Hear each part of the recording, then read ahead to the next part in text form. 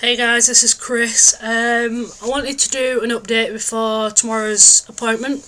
Um, I have my third gender clinic appointment tomorrow at 12pm. By the way, today is 13th of December 2011 and it is now 25 to 4 in the afternoon. Um, yeah, tomorrow I've got my third gender clinic appointment. Um, the appointment tomorrow, I believe, I will be put on the pathway of care. Um, which means it's another, basically another step forward to hormones. Um, sorry if I look like a scruff. I've just been to the gym, got a shower. So I'm just trying to chill out for a bit now. Um, yeah, so tomorrow I'll be hopefully put on the pathway of care. Um, and then I will hopefully receive one more appointment after tomorrow um, which will the appointment will entail when I um, take in all my all my documents, i.e. deed poll, change of name by deed poll. I'll be taking all my evidence in to show that I've changed my name officially um, and everything like that. Because um, usually after this initial assessment, supposed to have three to six months um, of the real life test, um, which is where you change your name by deed poll, you, you do everything like that, you act in the preferred gender at work and home and, and everything like that. Well, I've already been doing that since February, which is now, what, 10 months ago. Um, so I won't need to do that. I've just literally got one appointment. Because um,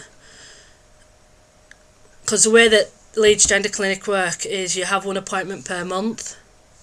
So you would have three to six appointments, which would, you know, be the same as three to six months of the real life test. But luckily, because I've done all that, um, I'll just get one appointment where I take all my evidence in, um, my deed poll and everything like that.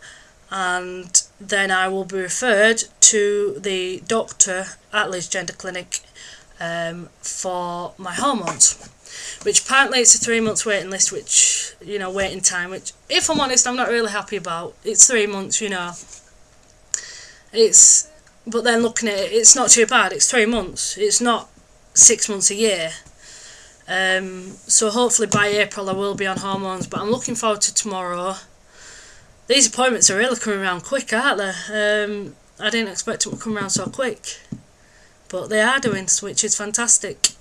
Um, I know that I haven't updated in a while, been feeling proper shit, but touch wood, been getting um, myself back on track now. Um, so yeah, I just wanted to do an update. Um, so yeah, I can't wait for tomorrow. Looking forward to it. Really, I'm looking forward to it. Um, and the further I get along the line, you know, in the, the process, the more excited I, I am becoming. And I think it will be fantastic when I do start hormones.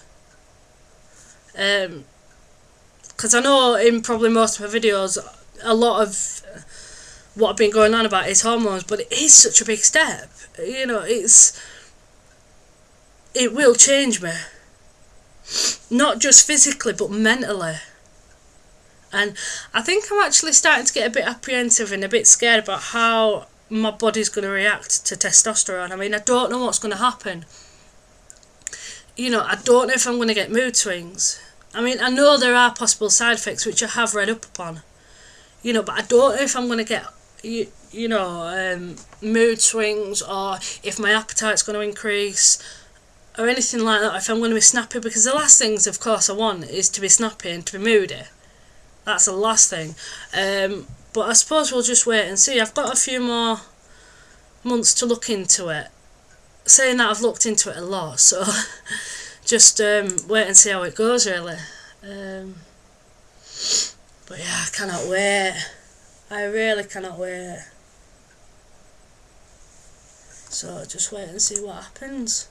Um, guys want to ask me any questions, same as always if you got me on Facebook, Facebook me, you know, YouTube, ask any questions. I'm not, I'm, I am quite open about it, so Um, I will most likely be making another video tomorrow um, saying how my appointment went. So, um, and I'll see you guys for now.